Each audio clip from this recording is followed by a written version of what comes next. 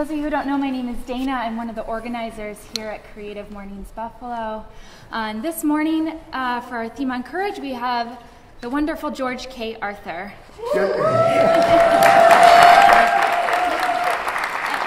Just, just plain George. He says he can go by George. So, uh, and George, before we start today, I thought I'd just kind of fill everybody in a little bit more on who you are. Um, so, George was born and raised in Buffalo, New York. Um, in his work for the city of Buffalo, he served as district committee man uh, on the Erie County Board of Supervisors, as councilman, and as president of the Buffalo Common Council, serving altogether for 26 years for Buffalo's Common Council. Um, George was the third African American to run for the city of Buffalo. Um, you are a photographer and a jazz enthusiast, um, currently treasurer of the Michigan Street Preservation Corporation. Uh, and if you were to do a Google search on George, which I might have done a few times over the past month, you would see him uh, listed as being a renowned political leader in Buffalo.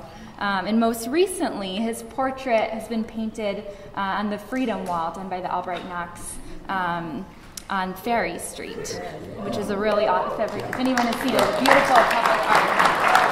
Beautiful piece of public art. So, um, so George, when we chatted before, um, you know, you were born and raised in Buffalo. Um, so tell us a little more. What was it like growing up in Buffalo at that time? She said that I'm old. I'd say that. And I, just let me say this, is I tell my kids that when I was born, uh, there were no hospitals. There were midwives. And I was born at 173 Walnut Street, which is in the heart of the uh, Fifth Ward. And the Fifth Ward is considered as the birthplace of the black community, politically and, and otherwise. Um, the midwife was busy. And so my grandmother had to deliver me. so um, you take it from there. But I've always, always been majority of my life there in the Fifth Ward. And uh, mainly on Clinton and uh, Pine Street, which was the heart, and that was the heart of what I considered it was in the black community. Uh, it was a great, great time I had living there because of the, uh, and when we talk of courage and challenges and so forth, uh, at that time, the, there was a lot of challenges that were there. And the city of Buffalo was not as friendly as it once was. Uh, I went to school number 32, which, by the way, is one of the oldest schools in the city of Buffalo. And a lot of people don't realize it was the first school in Buffalo to be integrated. And it was the result of a lawsuit in 1868, there were a group of gentlemen from the what was in the Vine Street AME Church, and we know that today as Bethel right. AME. And there was the Michigan Street Preservation, I mean the Michigan Street Baptist Church. And parishioners from both of those churches got together and pooled their money to sue the city of Buffalo. In those days, there wasn't a mayor yet, there was a common council. And he sued the council to integrate the schools because the one school that they had on Vine Street left an awful lot to be desired. And as a result, they went into court, they lost the lawsuit, but they won the battle because the council, the, the, the judge said that they had to make certain changes to the school. And as a result, that the changes that needed to be made were too costly. So the council said it's easier to let the, uh, as they said in those days, the colored students or the black students go to school 32, than to repair the school. And as a result, that was the first school that was integrated, and that was in 1872. That was, and it's been all ever since then. And the school is still there today. The other interesting thing I'd say is that right across from there's another school. And a lot of people don't realize that there's a tunnel that goes underneath the street from one school to the other school. and, and uh, it used to be Tech High School, and then Tech then would use 30, School 32 for its activities and so forth. But that was the school that I went to, and my father and my mother went to, and I had some of the same teachers that they had. And, and also my brother and my, my sister. But in those days that we, uh, schools were not integrated. I mean, not the, uh, uh, uh, they were neighborhood schools. And as a result, they say we would come home from lunch and go back and forth, so we stayed in our neighborhood, so. You have to realize that during that time that the, the area in William Street, it was the heart of the black community and of the business district. Mm-hmm. But it was also uh, a Jewish community and little known to a lot of people that there was Chinatown. And the Chinatown was there on Broadway. And while there was not a, a large Chinese population, that was the mixture of, in the Fifth Ward, was Chinese, black, and Jewish. And um, uh, a lot of famous people went to that school, like Harold Arlen. At the time, his father, he was his name, his real name was Harold Arlen. And his father was a cantor, and they had the, the synagogue there on Pine Street, right near William. And uh, Harold Arlen was singing there with his, his father, and, and, and then he later changed his name from Arluck to Arlen. But he was born in a house there on Clinton Street as well, delivered by Midway. uh, but uh, uh, it, it, it's a neighborhood and a community that has a really rich, rich history. And it's a history that, you know, those of us who live there said that we have to keep alive. Mm-hmm. And uh, it was, was the heart of the business district. And then what happened was that when the Ellicott renewal plan came along, that tore up the heart of the black community mm. as we know as we knew it then. Mm. Yeah. Very interesting. So you grew up in Buffalo. You went away to the army, correct? I was drafted. You were drafted to the army. There's a difference. you were drafted into the army. Thank you for your service. Um, and you intended, you told me, to move to California, right? But you kind of got pulled back well, to Buffalo. I, when I was in the army, I was a photographer for the army. And uh, uh, I had registered for school in California, Los Angeles. I was going to go to the Art Center to further my uh, learning of photography. And so I got an early discharge, so I came home to, to buy a car and see my family and then drive back to LA.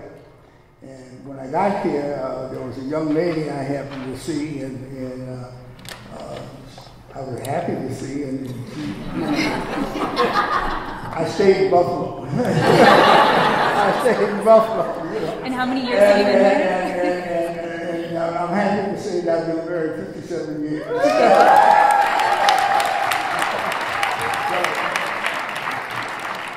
and that's because of her. but it is a happy marriage, and we have three children. Uh, two are here, two sons are here. Uh, one's a retired fireman, and one is a fireman. And my daughter is, uh, is now living in Phoenix, uh, Arizona, where she just retired from the Carson City, Carson City, Nevada School District. She was in charge of the uh, computer services for the Carson City School District here in Nevada. So um, that gives me an excuse to go to Phoenix. It's a good excuse. Um, so tell us a little bit about how you ended up working for the city and how you ended up in politics in Buffalo. Well, let me say this: when we talk about and our, our theme, the theme, courage, and I say that the my people like myself who were in public office, and, and I was first elected in 1964 to what was in the old Erie County Board of Supervisors, that we owe a lot to those who went there before us. There was a gentleman by the name of Sherman L. Walker. Sherman L. Walker was a registered Republican, and I'm a registered Democrat. Um, but Sherman L. Walker was the first black to be elected to a public office in Western New York. Uh, he had the Sherman L. was a uh, undertaker. He had a, a, hall that he had on Clinton and Hickory, sponsored that, uh, uh, drum and bugle corps and so forth. But he kind of he paved the way for those of us in color to be in public office. And after Sherman L., there was a gentleman by the name of Leland N. Jones Jr. And Leland N. Jones Jr. was the first black Democrat to be elected to office. He ran for uh, supervisor of the Fifth Ward against Sherman L. Walker. And it's interesting because at the time, uh, we had a, a, there was one, there's been one, only one black owned department store in the city of Buffalo, and that was a place called J.J. Allen's. It was on the corner of uh, William and Emslie. And J.J. Allen sponsored our football team. It was all black football team. And we needed a coach. And Leland was running for office, and he was a former football star at the University of Buffalo. So he said, look, I'll coach your team if you help me campaign, pass out my literature. so we have, the football team made a deal with him. We said, okay. Problem is, he never showed up to coaches. he had there was another guy named Jack Gibbons that was the assistant. But that it, it, was the he was the one that, that paved the way for the uh, Democrats. Leland served a one term on the board of supervisors, and he wanted to run for Ellicott District Councilman as a Democrat. Uh, the party chairman at the time was a gentleman by the name of William Mahoney, an outstanding criminal attorney here in Buffalo. He was chairman of the Democratic Party, and he told Leland that the city was not ready for a black councilman at this time. And he then went back, and there was a group of committeemen and others who told him, we are ready, and that Leland, you're going to run. And they got together, and they began to circulate petitions and go through all of the process uh, to run as an independent for the Ellicott District Council. And he did run, he won the primary, and he ended up winning the general election. And uh, he then paid, he paved the way for a black to be on the common council of the city of Buffalo. So there's people like them, Sherman L. Walker, the Leland N. Jones, and then later on the King W. Peterson and so forth, who paved the way for someone like myself. And I got in office through accident. Uh, it was a friend of mine named Plummer Godley, and he wanted to run for councilman, and he needed a partner to run for supervisor. You know, and I knew nothing about politics and had no money or anything else.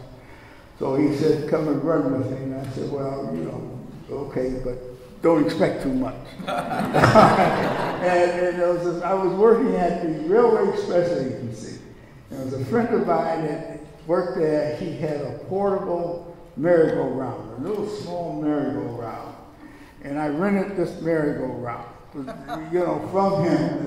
As matter of fact, I still owe him money for the rental. and, and, that was how I had the little small hand cards. I took my hand, I had my hand cards in the merry-go-round. And we went up and down the streets and we gave all the kids a ride on the merry-go-round in the handcart if they promised to take it home to the parents. and they did. And that was when, and so in the primary, what ended up happening was Plummer lost and I won.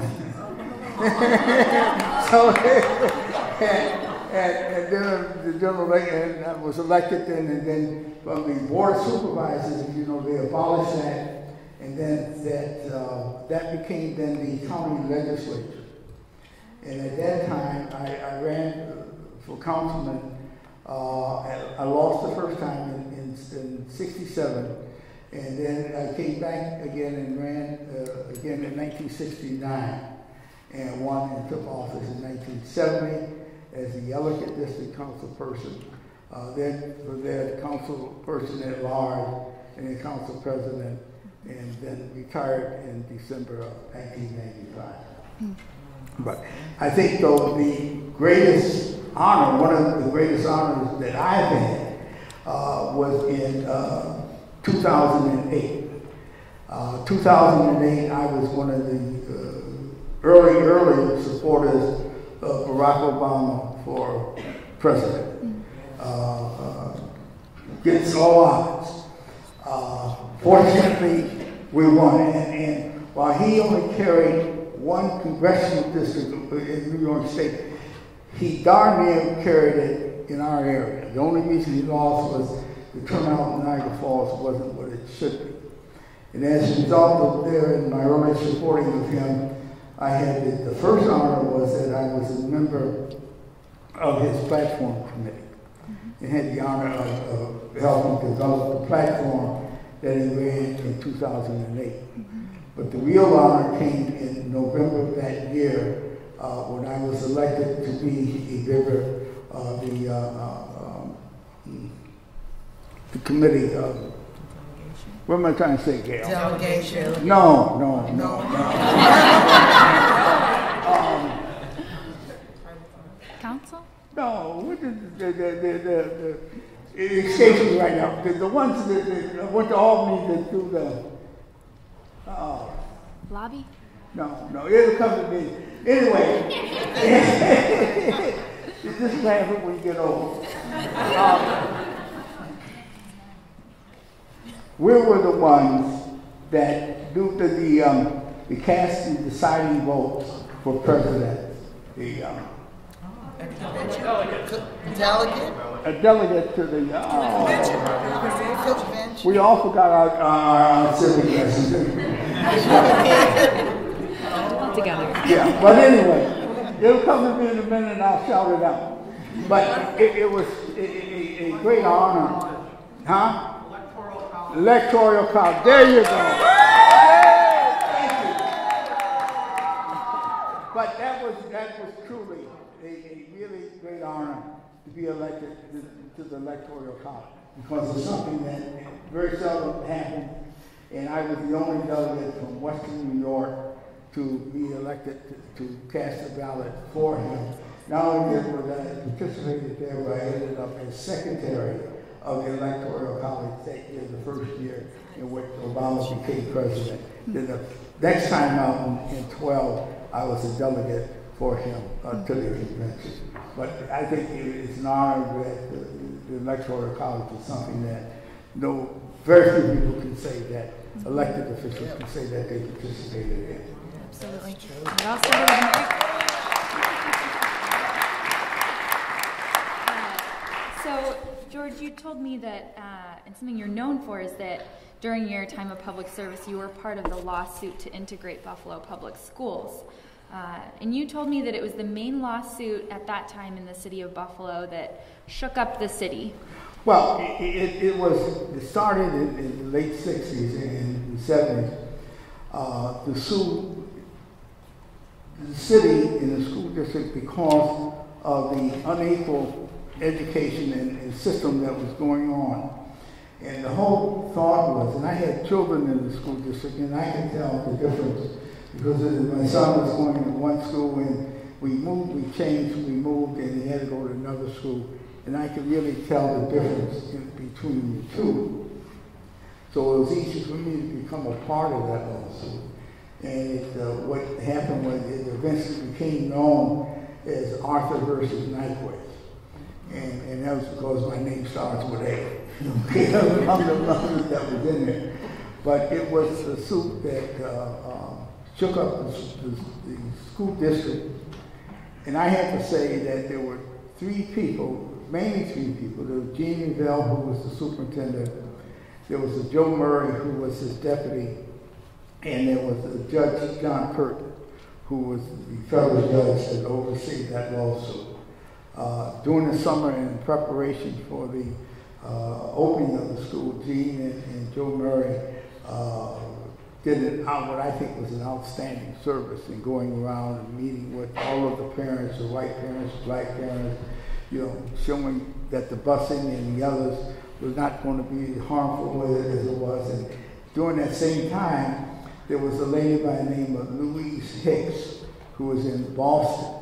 And she was raised in hell in Boston, and, and they were having all kind of problems while and doing the same thing while we were not having those problems hmm.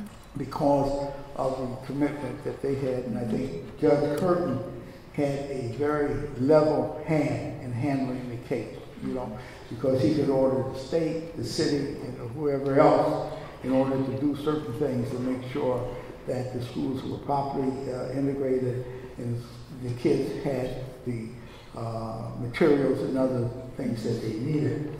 And, and, the other thing was that there was some uh, different, there was uh, the classes in the schools, the magnet schools and others that they had dreamed about, talked about, were a real credit to the city and to the Buffalo School District at that time, which now has been, a lot has been demolished, I mean, uh, gotten, done away with.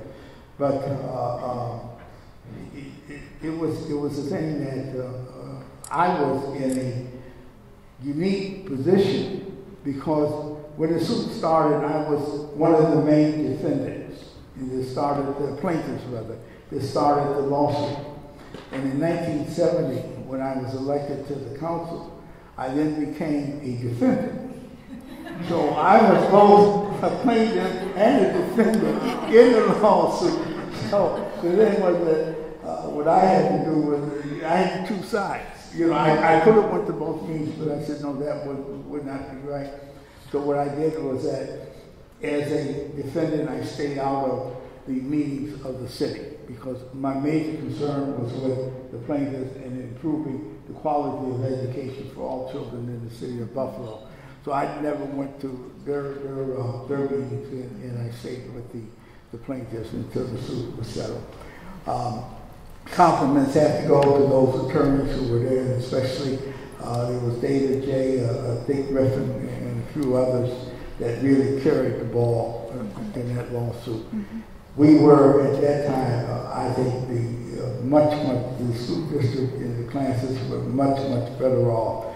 And there were a lot of cities and states and others who came to emulate uh, what was going on here in Buffalo.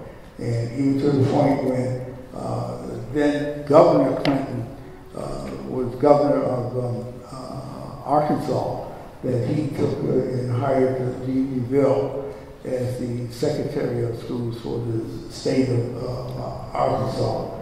But unfortunately, he was killed in an automobile accident. Mm-hmm. So, George, you've served in so many roles, both politically and artistically, and you know, on so many different councils and boards in the city of Buffalo. Um, and I want to, before we move to questions, I want to um, just ask you, you know, overall your different types of service, and even currently, you're still, you know, doing work for the city. Um, what has required the most resolve or the most courage for you? Tell my wife I got another meeting to go to.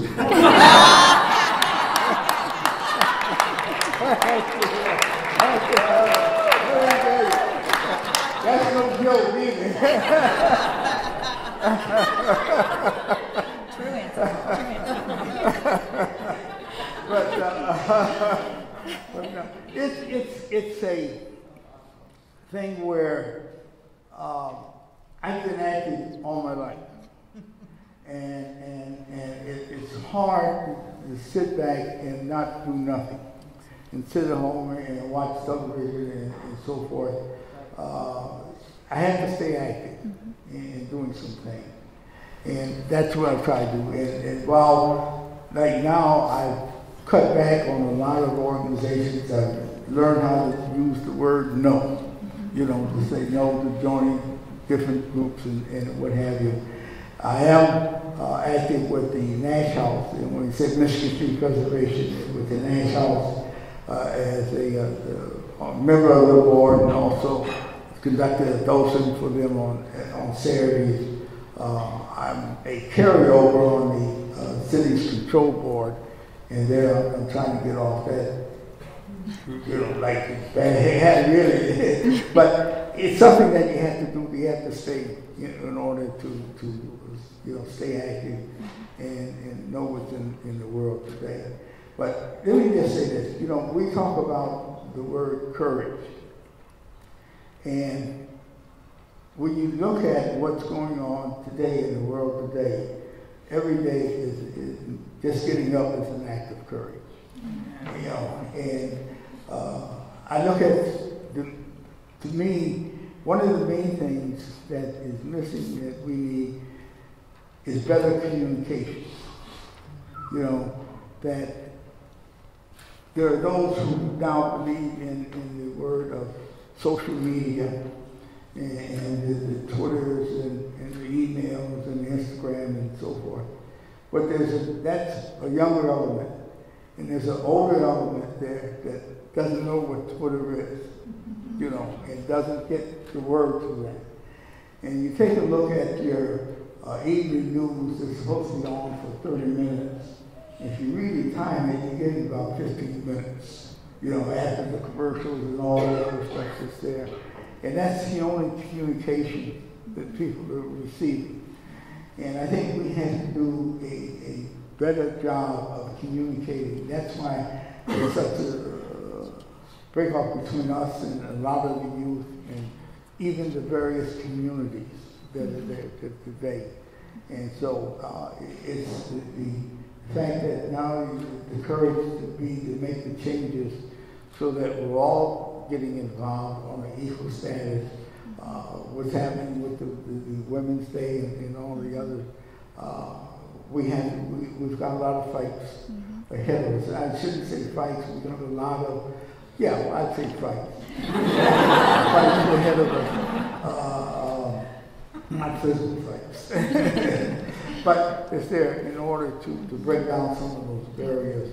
Uh, we had to do those who have the knowledge and have the skills mm-hmm. have to have the courage enough to go out and to lead and also to be criticized themselves. Their fight's worth fighting. Yes. Right? Yes. Fights are worth fighting.